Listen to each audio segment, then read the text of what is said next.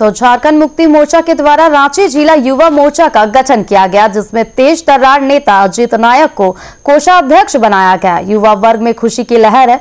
उसको देखते हुए आज उनका स्वागत किया गया। मेन रोड में अलबट्टेका चौक के समीप उनका आज पूरे हर्षोल्लास के साथ अभिनंदन किया गया और उन्हें बधाई देने कई लोग पहुँचे। मुख्य रूप से इसमें शामिल झारखंड मुक्ति मोर्चा रांची महानगर के पूर्व प्रवक्ता जितेंद्र गुप्ता की है। अजय कुमार सिंह, कई अन्य गणमान्य लोग उपस्थित रहे।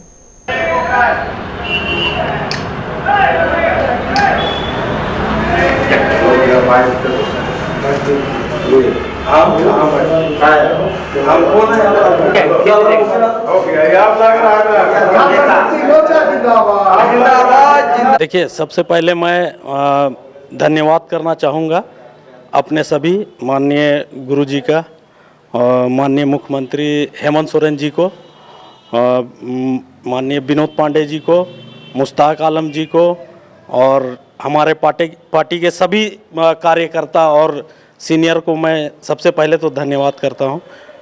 और मैं, मुझे इस लायक समझा और युवाओं को देखते हुए पोस्ट मिला, मुझे मुझे जो भी पोस्ट मिला।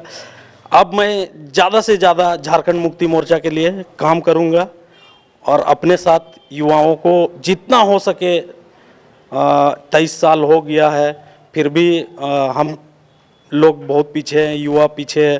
तो हम जितना हो सकेगा पूरा झारखंड मुक्ति मोर्चा के लिए युवाओं को जोड़ेंगे। युवाओं को कैसे आप हक दिलाएँगे? जहाँ पे नीति और न्याय का बात होगा तो उसमें हम बढ़ चढ़ के हिस्सा लेंगे। और जितना हो सके युवाओं को हम फेस करने का, अपना, अपने साथ जोड़ने का टीम में साथ चलने का और झारखंड मुक्ति मोर्चों को आगे ले जाने का काम करेंगे।